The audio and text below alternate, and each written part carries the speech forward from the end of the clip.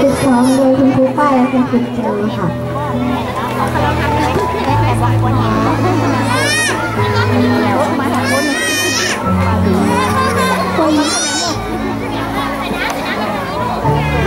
ขอรบกวนคุณพ่อคุณแม่ชมน้องๆหลังไม้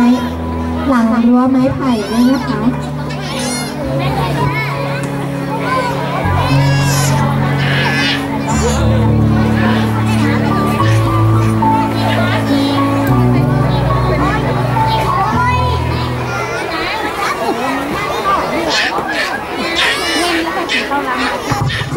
รับชมได้แล้วค่